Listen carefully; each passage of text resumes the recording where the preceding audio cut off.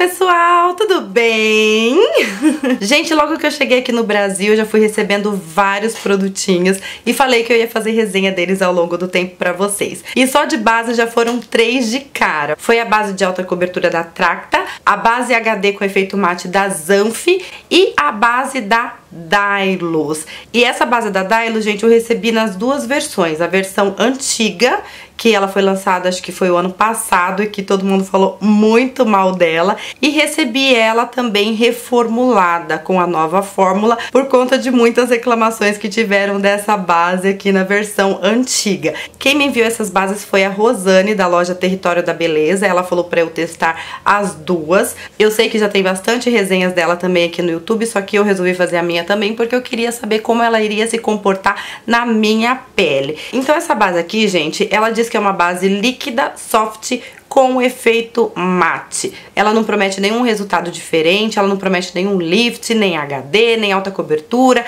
nem nada disso. Ela vem assim nessa embalagem rosinha, bisnaguinha, também com 30 gramas de produto.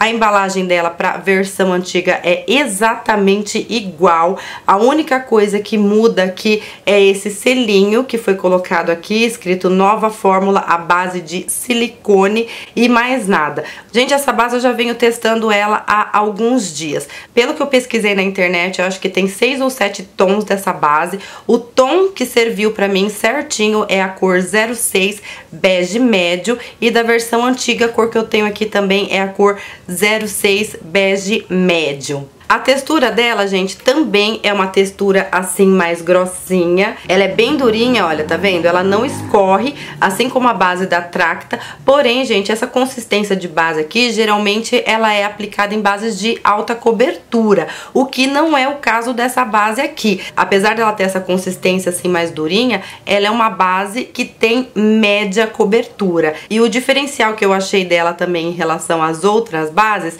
é que essa daqui ela já tem um tom mais mais assim amarelado, tá vendo? Talvez vocês não consigam enxergar no vídeo porque eu tô com a softbox em cima de mim e as luzes da softbox são luzes brancas, mas olhando assim a olho nu, essa cor bege médio aqui, que é a minha cor, ela tem um tomzinho assim mais amarelado, o que pra mim não é uma coisa ruim porque o meu tom de pele é um tom amarelado. Algumas meninas já perguntaram pra mim, Sandra, como é que eu faço pra saber se o meu tom de pele é um fundo amarelado ou é um fundo rosado? Um tom de pele mais rosado é um tom de pele mais frio. E um tom de pele amarelado é um tom de pele mais quente, que geralmente é o tom de pele característico de nós brasileiras, mas tem exceções porque tem bastante meninas aí que tem o tom de pele mais rosadinho. Mas a dica mais fácil que eu posso dar para quem não tem certeza do tom da sua pele, gente, é olhando a cor das suas veias assim, sabe? Eu peguei aqui a luz do meu celular, que ele tem uma lanterninha, aí você coloca bem pertinho assim do seu braço de forma que você consiga enxergar suas veias, sabe? Se você achar que essas veias aqui da sua mão,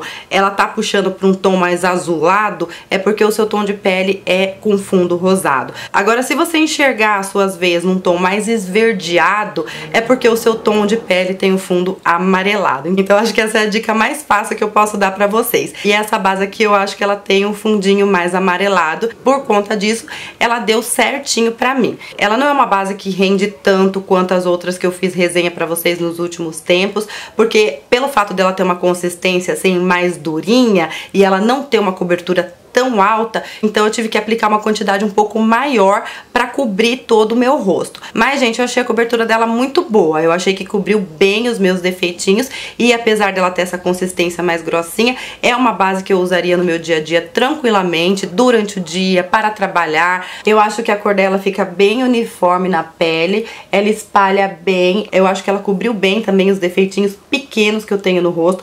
Porém, se você tiver muitos defeitinhos, assim, por exemplo, muita sardinha, espinhas ou muitas espinhas, eu acho que a cobertura dela não é o suficiente para cobrir tudo, mesmo que você aplique duas camadas. No entanto, gente, eu acho que ela é uma base que ela dura muito tempo no rosto. Para vocês terem uma ideia, eu apliquei essa base hoje por volta de uma hora da tarde. São quase nove horas da noite e a base permaneceu praticamente intacta no meu rosto. Eu precisei retocar o corretivo que eu apliquei, um pouquinho da sombra, um pouquinho do lápis, mas a base mesmo eu não precisei mexer. Apesar de ter feito frio durante o dia e eu não ter pego aquele calor insuportável que possa de fato derreter a base, eu já tô aqui sentada faz mais ou menos umas duas horas gravando o vídeo. Eu já gravei um vídeo que demorou bastante antes desse e eu tô com as minhas luzes aqui do softbox acesas e essas luzes esquentam muito. Então acaba que eu tô até suando aqui por conta das luzes. Mas embora eu tenha suado, a base não saiu do lugar. O máximo que eu achei que aconteceu assim foi na zona T, assim, ela dá uma brilhada a mais, digamos assim. Então no calor, se você passar muitas horas com ela, se você tiver pele oleosa assim como a minha, essa parte do centro assim, do nariz e da testa, vai começar a dar uma brilhada. Em nenhum momento ela foi criando aqueles espaços assim que acontece com outras bases conforme o dia vai passando. E outra coisa que não aconteceu foi ela acumular nas minhas linhas de expressões. Eu já usei ela outras vezes também, só que hoje foi o dia que eu fiquei mais tempo com ela, inclusive estou gravando com ela e nenhum momento ela também acumulou nas minhas expressões. Mas, apesar dela não ter acumulado nas minhas linhas de expressões, não é uma base que eu indicaria para uma pessoa com pele madura, porque pelo fato dela ter a consistência mais grossinha, uma pessoa que tem a pele mais sensível, mais madura e com algumas linhas de expressões, eu acredito que ela possa marcar um pouquinho sim e ela não vai ficar aquela coisa natural. Para peles maduras, eu indicaria bases assim com a consistência mais fininha. A fórmula nova já está aplicada aqui no meu braço e eu vou aplicar aqui a fórmula antiga um pouquinho mais pra cima. A fórmula antiga, gente, ela já é bem mais fininha, ela tem uma consistência bem mais líquida do que a fórmula nova. E ela também é um pouco mais escura que a fórmula nova. As duas são bege média, mas a tonalidade da fórmula antiga é mais escura que a tonalidade da fórmula nova. Outra coisa que vocês podem perceber é que essa base oxida. Então quando você aplica ela, ela fica um pouco mais clara no seu rosto, só que depois ela oxida, que foi o que aconteceu comigo. Quando eu apliquei ela tava mais clarinha, agora ela ficou exatamente do tom da minha pele. A base com a formulação antiga, gente, se você aplica qualquer líquido nela, ela vai derretendo assim no braço. Não sei se vocês vão conseguir ver no vídeo, olha isso.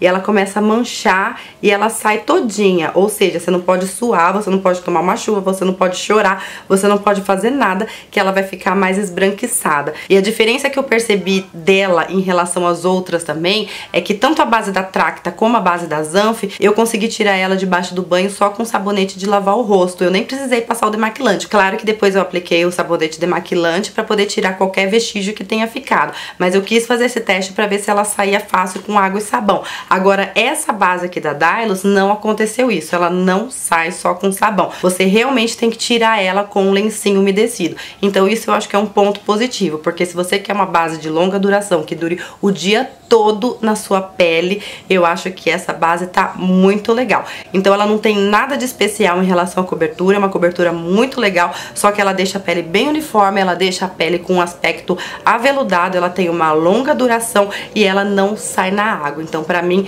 esse foi o maior diferencial dela. Eu recebi essa base da Rosane, da loja Território da Beleza, mas eu vi ela esses dias em perfumaria aqui do bairro de casa por 26 reais, se eu não me engano. E eu acho que 26 reais tá um preço muito bem pago por ela. Como eu já falei pra vocês em outros vídeos, independente da base que eu estiver usando, eu sempre prefiro selar ela com pó. Mas quando eu vou fazer a resenha pra vocês, eu prefiro não aplicar o pó, que é pra vocês poderem ver o efeito real dela na pele. Eu apliquei um corretivo, que por sinal não gostei muito do corretivo, porque o corretivo que eu usei sim acumulou um pouquinho nas minhas linhas de expressões. Eu esqueci de pegar um papelzinho, mas eu peguei um algodãozinho assim branco, e essa parte aqui, onde eu não apliquei blush, onde eu não apliquei nada em pó, eu tô encostando aqui, ó, e eu tô o dia inteiro com a base. E ela não transferiu na dica de nada, nada, nada, nada mesmo. Então eu achei a qualidade dela excelente, gente, assim como a base da Tracta, assim como a base da Zanf e assim como a base da Vult. Se eu tivesse que escolher entre ela e a Ultimate Finish da Vult, eu ficaria com a Ultimate Finish, porque a Ultimate Finish tem uma cobertura assim maior. Agora, entre ela e a base de efeito mate da Vult,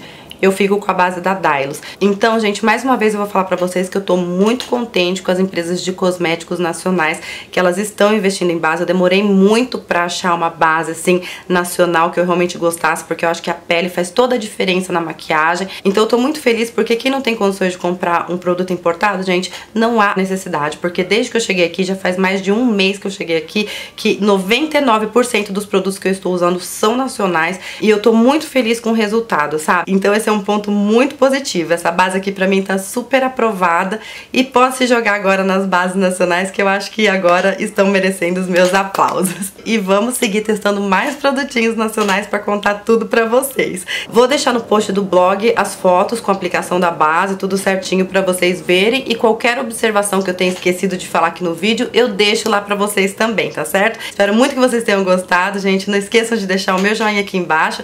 Não se esqueçam de se inscrever no meu canal e me seguir também nas redes sociais, que vocês me ajudam muito na divulgação. E eu tô sempre lá no Snap, no Instagram e na fanpage, batendo papinho com vocês e postando foto lá pra vocês. Um beijo enorme e fiquem com Deus!